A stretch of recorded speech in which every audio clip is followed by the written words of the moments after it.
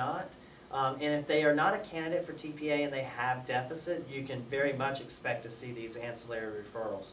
Um, if they have minimal deficit, they still need the referrals, but there's probably not a lot that they're going to do with them. So you're going to see nutritional support, you're going to see uh, physical, speech, and occupational therapies, and social services potentially for placement. So, so in summary, what is TPA? Clotbuster A clot buster. Why do we give it to the ischemic stroke patient? to save their lives. well, to open that vessel up and reperfuse the brain. Um, when, what's our window of opportunity? Three hours. Three hours. And door to drug? Sixty minutes. 60 minutes. Excellent. What departments can give it in this hospital? BD and ICU. ED and ICU. Good. What tools do we have for using to calculate? we have the slide rule, and, And we also formula. have the worksheet, exactly. Um, and then monitoring the patient, we're gonna, we're gonna do continuous monitoring while they're getting the TPA, and then we have a specific monitoring routine post-TPA. All right? Any questions? John, in the previous classes, the ICU nurses all seemed to mention that um, most of the TPA is given in the ED. Correct. And so if a patient comes to the ED, goes to CAT scan, they'll go back to ED for their drug. Yeah, typically what we've been doing is that they go to their CAT scan and then our physicians continue the care until we've started the TPA and then it's either turned over to the neurologists or the admitting physicians. And then they move up to ICU And it's, it's perfectly okay that if we start that, and there's a couple of things I failed to mention, so we'll talk about real quick.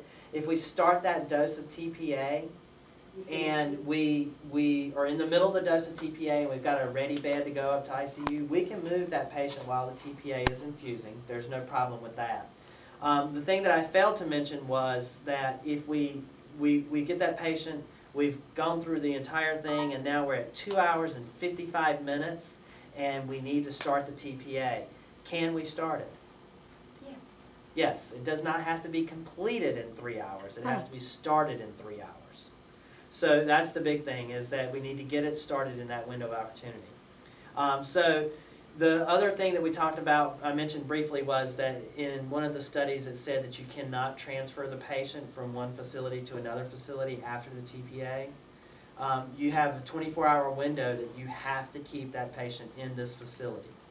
Um, if we, if we put them in the back of an ambulance or a helicopter to transfer them somewhere else, they are at an increased risk for a head bleed, so we cannot transfer those patients. All right? Any other questions? All right, Thanks a lot, John. thank you. I just wanted to make a couple of additions before we stop, and that's to make sure that you know about these two binders. I think we've mentioned the stroke alert binder, which is a bright red label on the side so you can find it in a hurry. And it also is, has on the front, um, people with scrubs on, so you'll know this is for the healthcare workers. It's your resource to find out what you need to know, because we don't expect you to remember every single detail today.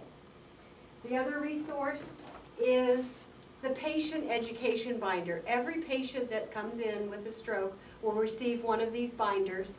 It's theirs to take home, and that way they have all the education resources in writing. So if you do go in to teach your patient, please review and cover what you can. Find out what they've learned, point it out to the family, the caregivers, and so on.